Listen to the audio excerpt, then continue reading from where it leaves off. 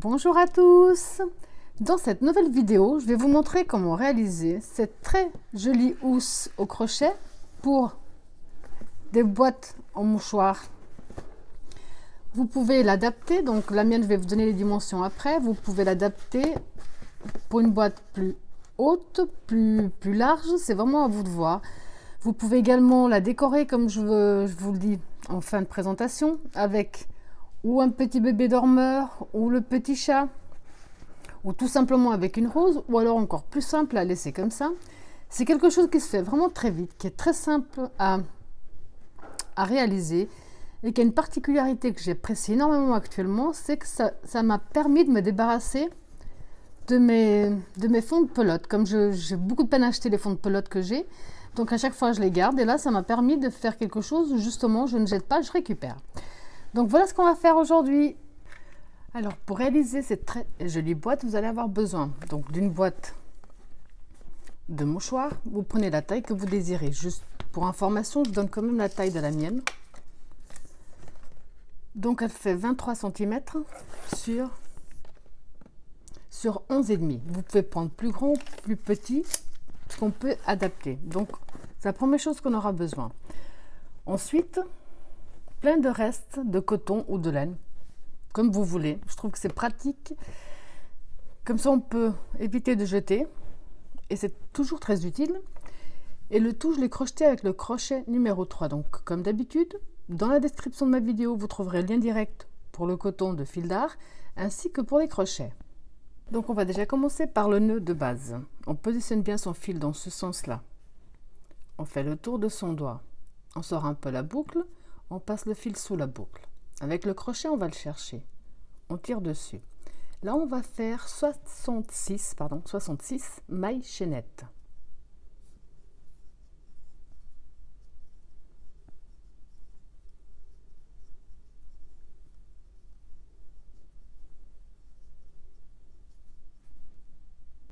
Alors, quand on a nos 66 mailles chaînettes, on va prendre les mailles chaînettes ici à l'endroit vers nous. On va entrer dans notre première maille chaînette de départ et fermer avec une maille coulée.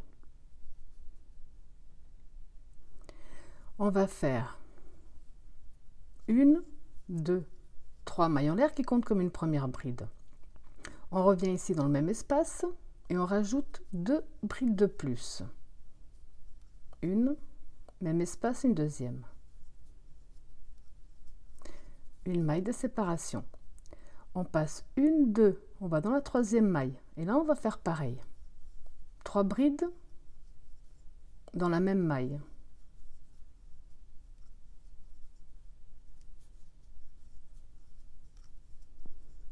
Une maille de séparation. On passe une deux on va dans la 3 de nouveau trois brides. Une deux une maille de séparation. On passe une, deux, on va dans la 3.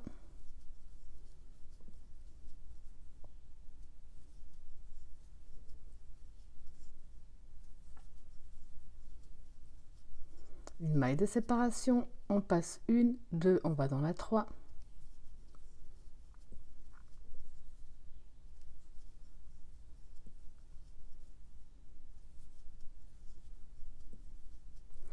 Donc ici, on a 1, 2, 3, 4, 5 groupes. Au total, on va en faire 8.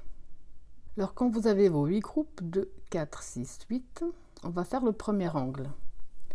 Donc, la maille de séparation. Le jeter, on passe une, deux, on va dans la 3, on va faire un premier groupe.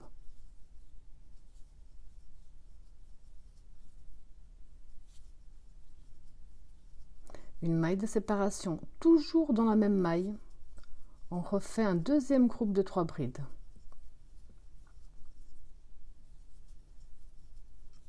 On a fait notre premier angle, une maille de séparation. Donc on passe une qui est cachée derrière, une, deux, on va dans la 3. On refait un groupe de 3.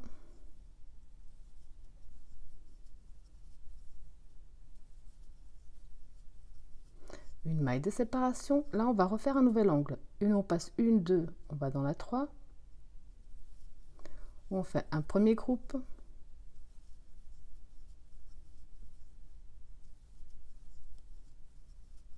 Une maille de séparation, même espace. Un deuxième groupe.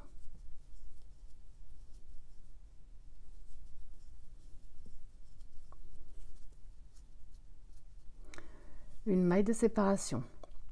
On passe. Donc une, deux, on va dans la 3.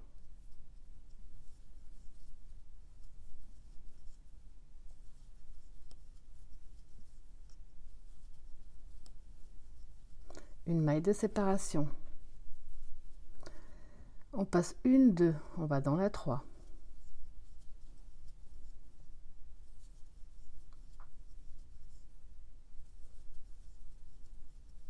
Là, on va de nouveau faire 8 groupes de suite.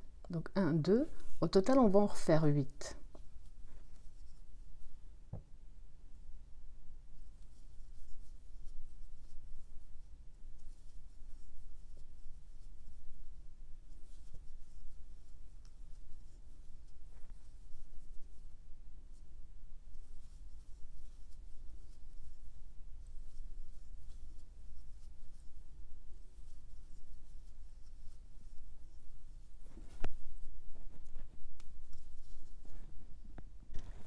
Donc ici, quand vous avez refait les 8 groupes, 1, 2, 3, 4, 5, 6, 7, 8, on va refaire les angles. Donc la maille de séparation. On passe une, deux, on va dans la 3. Là, on va faire le premier angle. Alors, un premier groupe de 3.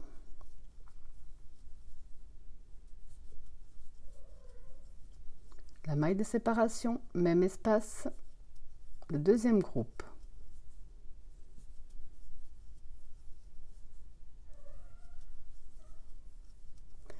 Maille de séparation.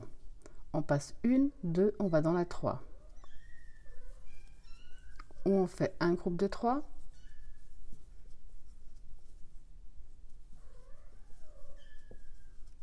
Une maille de séparation. Donc après la maille de séparation, on passe une, deux, on va dans la 3 et là on va refaire l'autre angle.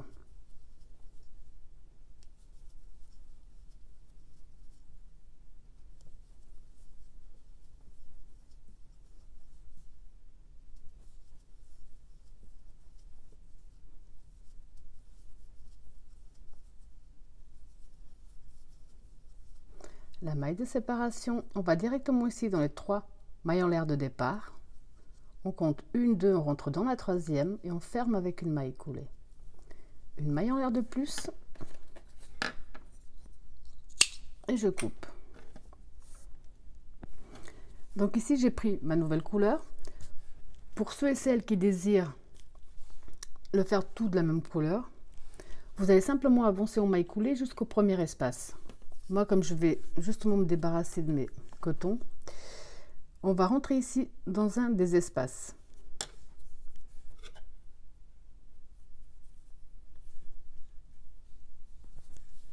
Donc ici, je vais faire un ou deux nœuds.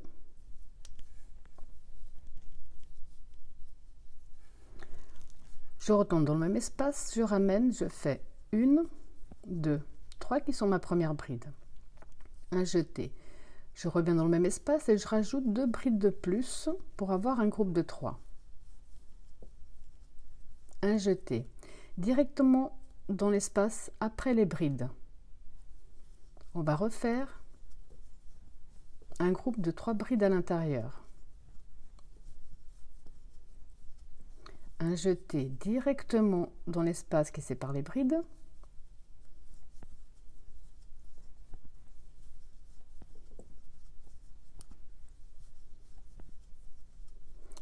Jeté directement dans l'espace qui sépare les brides.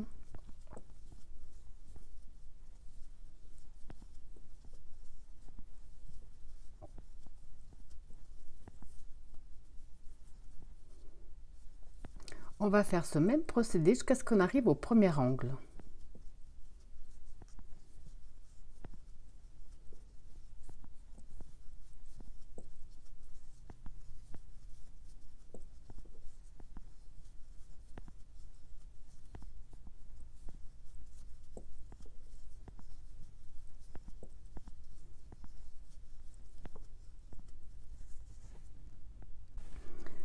Donc on a fait le même procédé jusqu'au premier angle qui se trouve ici. Donc dans les angles, on va faire un premier groupe de 3,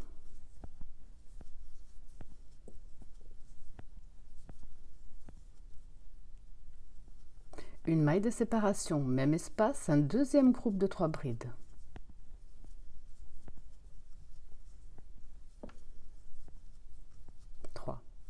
Un jeté directement dans l'espace après les brides, un groupe de 3,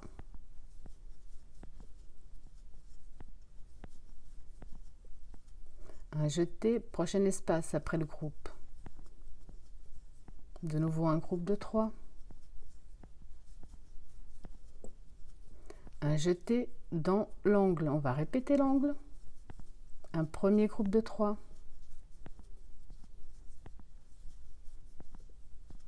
une maille de séparation, même espace, un deuxième groupe de 3.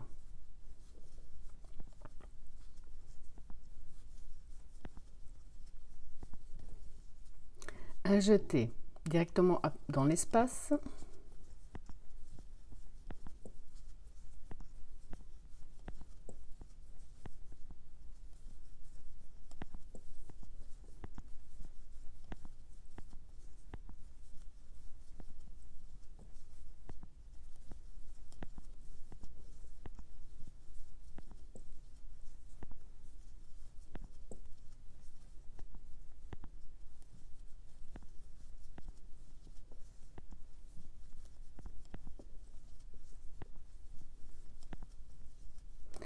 Donc vous avez compris que là, vous allez répéter ce qu'on a fait de ce côté-là. Quand on va arriver dans les angles, on va répéter ce qu'on a fait ici de ce côté, rien de plus. À la fin, on va simplement, donc, si vous changez de couleur, fermer avec une maille coulée. Une maille en l'air de plus, on coupe son fil. Moi, c'est ce que je vais faire personnellement. À chaque fois, à chaque tour, je vais faire une nouvelle couleur. Là, je vous montre une toute dernière fois, puisqu'en fait, ce qu'on vient de faire ici, pour le deuxième tour, c'est exactement ce qu'on va faire sur le nombre de tours désirés pour couvrir le haut de notre boîte. Donc en fonction de votre boîte, vous aurez peut-être besoin, besoin de plus de tours ou moins de tours que moi. À chaque fois que vous changez au pas de couleur, donc ici je vais prendre une autre.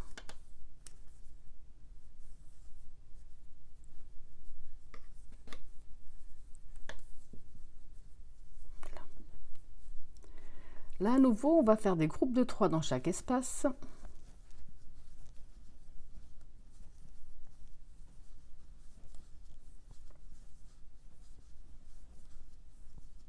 Le jeter directement dans l'espace suivant. Je profite, comme vous le voyez, pour cacher mes fils.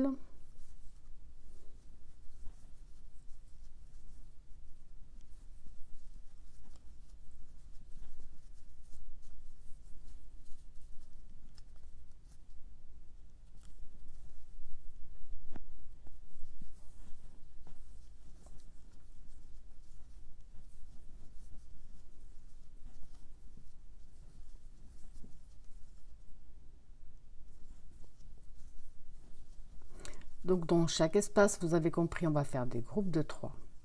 On va faire ce même procédé jusqu'à ce qu'on arrive au premier angle. À chaque fois que ce soit ce tour-ci ou les autres, qu'on sera dans l'angle, on va répéter l'angle. Ça veut dire qu'ici dans l'espace qui sépare les deux groupes, on va faire un premier groupe de 3.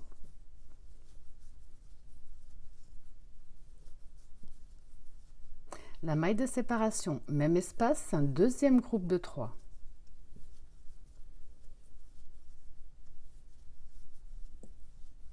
Ensuite, on va continuer des groupes de 3 entre chaque espace.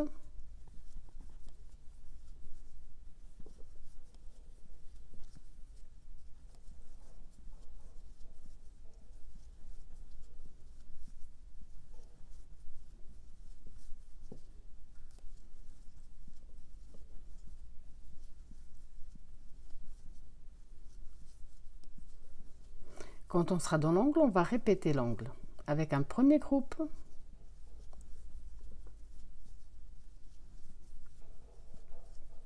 Une maille de séparation et un deuxième groupe dans le même espace.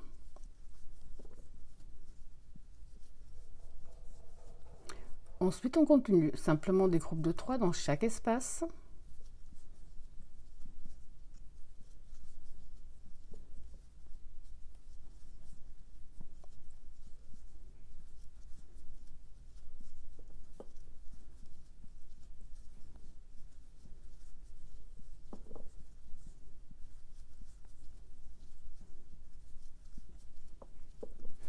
Vous avez compris. Vous allez faire des groupes de 3 dans chaque espace. Quand vous allez arriver dans l'angle, vous allez répéter l'angle.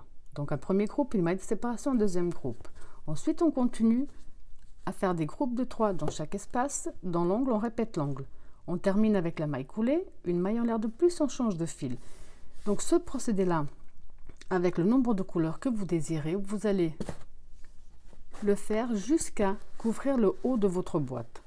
Ensuite, on n'aura plus qu'à travailler tout simplement droit, sans augmentation, sans rien, pour que ça on puisse donc poser, mettre la housse sur la boîte. Donc ici, je vous montre, j'ai avancé à ce qu'on puisse bien couvrir la boîte. On voit que là, il manque quelques centimètres, mais c'est pas gravissime. Vaut mieux que ce soit plus petit que trop large. Donc moi ici, vous voyez ce que ça donne.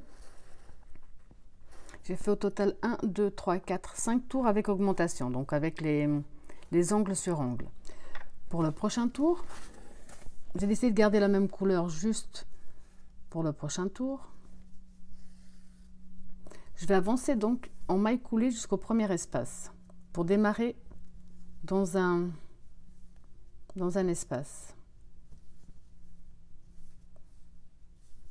Donc ici, dans notre premier espace, on va faire une, deux, trois qui font la première bride, plus deux pour avoir notre groupe de trois.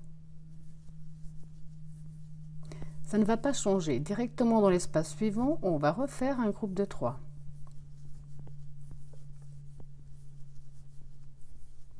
Espace suivant, un groupe de trois.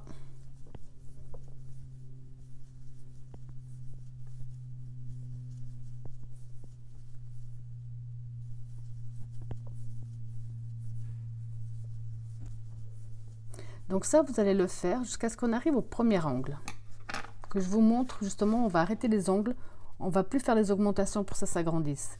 Donc ça, vous allez le répéter jusqu'à ce qu'on arrive ici dans l'espace avant l'angle. Alors quand on est arrivé ici dans l'angle, maintenant, dans chaque angle que nous avons, on va simplement faire un groupe de 3 à l'intérieur. Donc on va dans l'espace qui sépare les deux. Et on fait tout simplement un groupe de 3 brides à l'intérieur. Et là, on continue. Dans chaque espace, on va refaire un groupe de 3.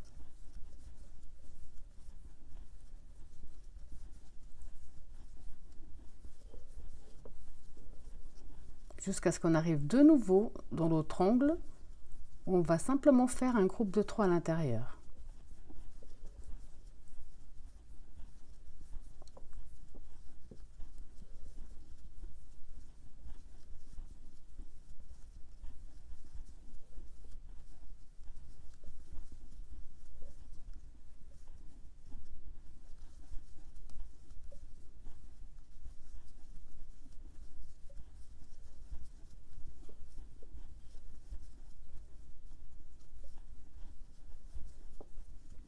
Donc ici dans l'angle, on va tout simplement faire un groupe de 3.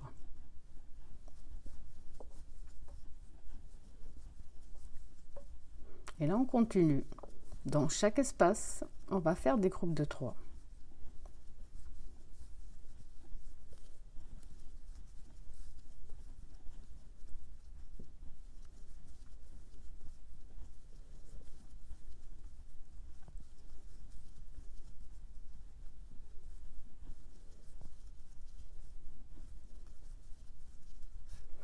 Donc vous avez compris que vous allez tout simplement de nouveau répéter des groupes de 3 jusqu'à ce qu'on arrive dans l'angle. Dans l'angle, vous allez simplement faire un groupe de 3. Ensuite, dans chaque espace, de nouveau des groupes de 3. Jusqu'à l'angle suivant, on fera un simple groupe de 3. On fait donc des groupes de 3 dans les espaces. On termine avec la maille coulée. Je vous montre une dernière fois comment reprendre à chaque fois ce tour-là, parce que c'est ce qu'on va répéter en permanence. À chaque fois, on va s'accrocher au centre dans un espace n'importe quel qu'il soit. Et on va faire que des groupes de 3 dans chaque espace que nous avons. Et ça sur la longueur totale de notre boîte. Donc à partir de maintenant, qu'on change ou pas de couleur. Moi là j'ai décidé à nouveau de changer de couleur. On va s'introduire dans un des espaces qui sépare les groupes. C'est ce que vous allez, ça, ce que je vais vous montrer maintenant, c'est ce que vous allez répéter sur la hauteur totale de votre boîte on va tout simplement faire que des groupes de trois brides dans chaque espace que nous avons, rien d'autre.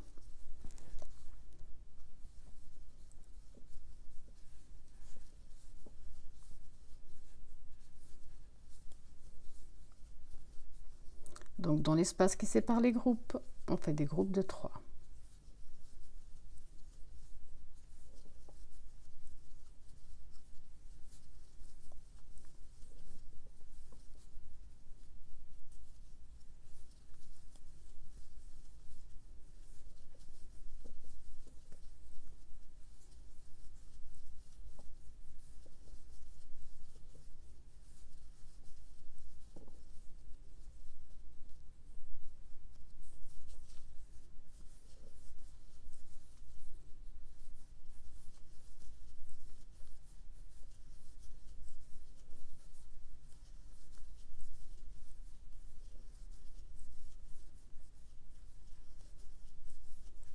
Donc ça, vous allez le répéter jusqu'à ce qu'on... Enfin non, tout le tour, tout simplement. Ici, quand on arrive dans l'angle, vous allez faire un groupe de 3 dans l'espace avant, un groupe de 3 dans l'espace après, et ainsi de suite, nombre de tours que vous désirez. Au bout d'un moment, votre travail va commencer, à va commencer simplement à descendre. on voit qu'ici, il commence déjà à plier sur les côtés, justement pour prendre, qu'on puisse ensuite l'enfiler dans la boîte qui est destinée à cet effet-là. Donc tout simplement, tous les prochains tours, on va faire que des groupes de trois brides dans chaque espace que nous avons.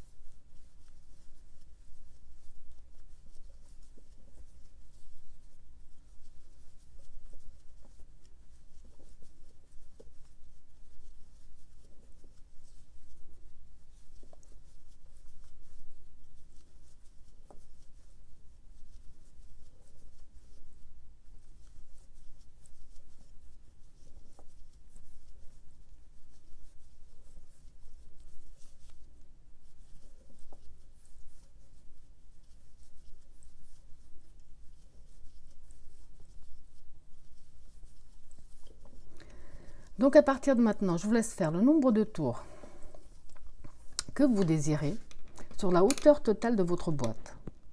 Donc dès que vous avez fait le nombre de tours qui correspond à la hauteur de votre boîte, moi ici au total j'en ai fait, donc sans augmentation, 1, 2, 3, 4, 5, 6, 7 tours. Reste plus qu'à prendre la boîte et lui mettre sa housse. Là. Bien entendu, vous pouvez la personnaliser par exemple, en mettant un de ces petits bébés ici sur le côté. Ou alors pour les grands fans de chat, mettre un petit chat. Ou simplement faire une rose ou laisser, ou laisser comme ça. Donc voilà, j'espère que ma vidéo vous a plu. Et je vous dis à bientôt.